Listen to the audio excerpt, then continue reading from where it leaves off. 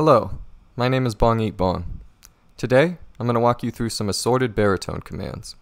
While I've made a few videos now on baritone functionality, not every single baritone command or setting will be covered in this baritone video usage guide. I wanted to make a video dedicated to some I feel are important that weren't applicable to other videos or didn't make the cut. Let's begin. First off, let's cover the legit mine setting. When using the mine command, Baritone will scan all blocks within render and mine accordingly. While this is efficient, it may look disingenuous to those wishing to hide their baritone usage, perhaps from friends who don't approve of modding. Luckily, baritone has the legit mine setting. When set to true, baritone will only mine blocks exposed to air that can be seen by the player. An additional setting that affects this functionality is legit mine Y level. It's set to 11 by default. This is the Y level that Baritone will favor while legit mining, if it's not able to see any targeted blocks exposed to air. Higher or lower settings may be desirable for obtaining certain materials. Block placement penalty is a setting that affects how likely Baritone is to place blocks to assist in pathing. Lower settings will encourage Baritone to bridge and parkour place more often. Higher settings will have an inverse effect. The units are ticks, meaning the default of 20 is treated as a 1 second slowdown.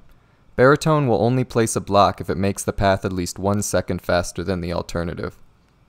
The modified command is very helpful for seeing any changes to baritone settings you may have made. This should be one of the first things you check before assuming something is wrong with baritone. One example I've seen many times is people disabling allow place, forgetting, then being confused as to why baritone won't place blocks. The modified command can help eliminate any confusion. The tunnel command can be used to automate the process of tunnel digging. Baritone will tunnel in the straightest line possible while also avoiding obstacles. This command also supports user-defined tunnels. Use the command help tunnel for more details. The explore command will have Baritone begin continuously pathing towards the closest chunk to the origin that it's never seen before. It can be used without coordinates to start at the player's feet, or it can be given an X and Y coordinate to start exploring from. The farm command can be used to have Baritone automatically harvest crops. It will leave behind the bottom of cactuses and sugarcane, and even replant crops. The backfill setting can be used to have Baritone automatically replace blocks it breaks during pathing.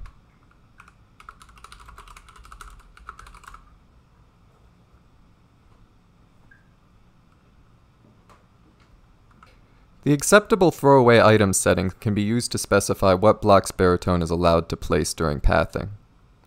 I've just set Baritone to use diamond blocks, and you can watch what happens when backfilling.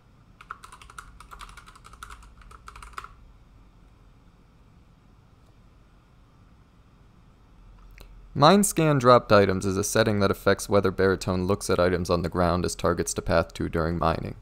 This is on by default so that Baritone picks up valuables like diamonds. Toggling this off is desirable if you don't want Baritone to stop mining when its inventory is full, such as when grinding quartz ore or coal for XP. As you can see, my inventory is full, yet Baritone continues to mine. Thank you for watching, and hope some of this information can be helpful to you. More Baritone documentation is available in the description. This has been Bong Eat Bong, signing off.